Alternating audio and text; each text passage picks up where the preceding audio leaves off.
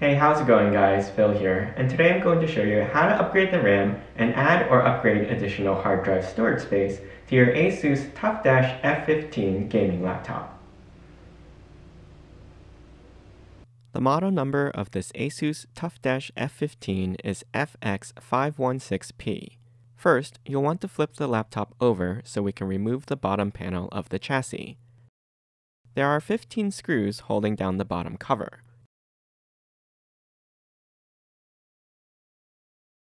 You'll want to unscrew the one at the front right-hand corner last, since it's the pop-up screw. Try to keep track of the order of the screws as you remove them, because they're not all the same size.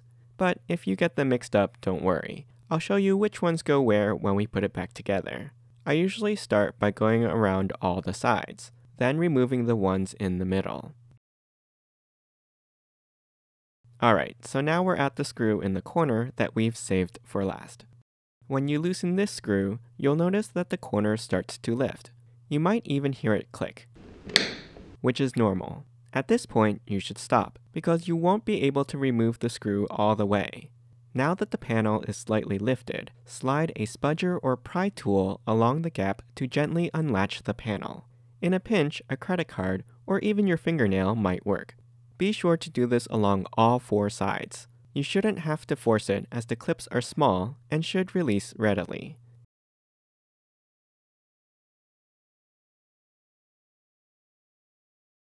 Then you can lift the back cover off.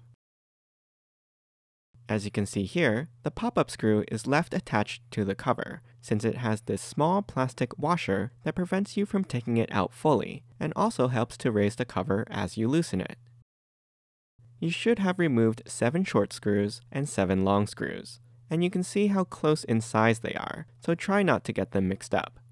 Okay, let's turn this around. This is the battery for the laptop, and some folks recommend disconnecting its connector to reduce the risk of electrical discharge.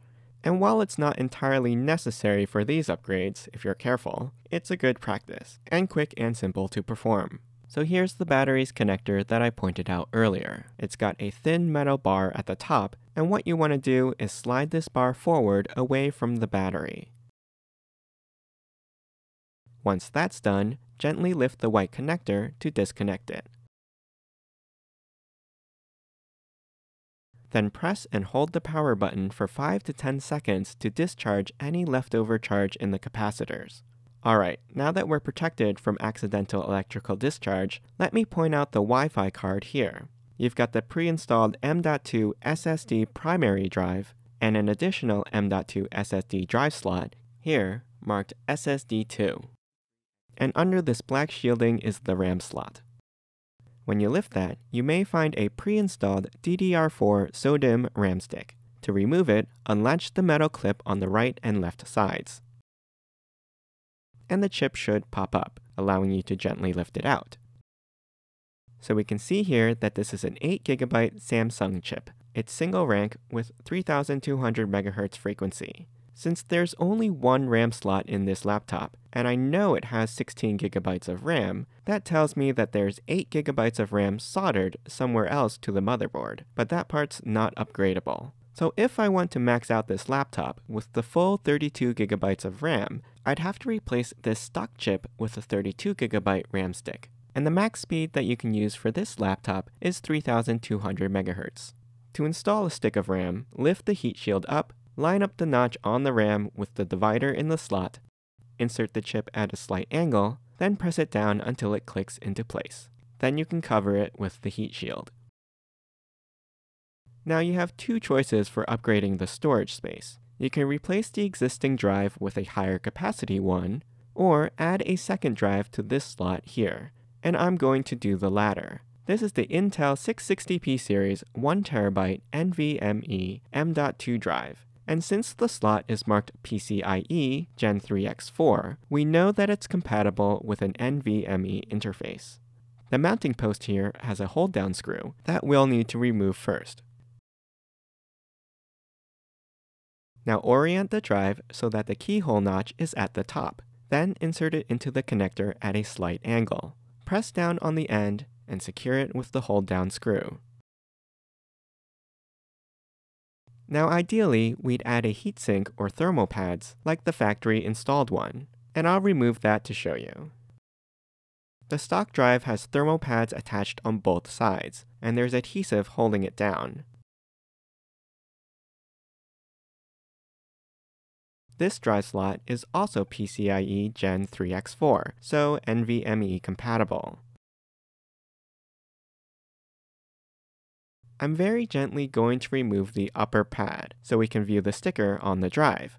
And we see here that this is an SK Hynix 512GB M.2 drive. It was pretty tough to get the thermal paper off, and removing it may mess up the double-sided sticker. So if you decide to swap this drive, I wouldn't plan on reusing these thermal pads. Installing the drive here is the same as slot 2. Insert on an angle with the keyhole at the top, press down on the end, then tighten the hold down screw. Alright, don't forget to hook up the battery connector before you close this back up. Just press the white connector back into its cradle and slide down the metal clip at the top. When putting the bottom cover on, hook in the clips on the back first. Then press down on the edges and up the sides, and finally along the front. Remember, this corner will be popped up until we tighten that screw back down. Then replace the 14 other screws. The 7 short screws will go along the sides and front face of the laptop. All the long screws go into the interior holes, and the two along the back. Okay, let's turn this on and see if we were successful. When you power the laptop on, to enter the BIOS, press the F2 key after the ASUS logo appears. We're interested in this section here. So this is telling us here that it sees the new Intel 660p drive we just installed with a 1TB capacity. And if we click next, it also sees the original NVMe SSD with 512GB capacity. If you installed a brand new secondary drive, you'll have to partition and format the drive before you can see it in a file explorer, and you can check out my video on how to do that in the info bubble above. Since I pulled this drive from another laptop, it's already set up and shows up right away. You can see the 1TB capacity here as the D drive, and my C drive is the 512GB one. You should be able to install up to 2TB in each of the M.2 slots, giving you a total of 4TB of hard drive space. I hope you enjoyed this tutorial and found it helpful. If you have any questions, you can ask me in the comments. I'll put links for the tools and parts I recommend in the description below. Don't forget to subscribe to my channel, and join me next time.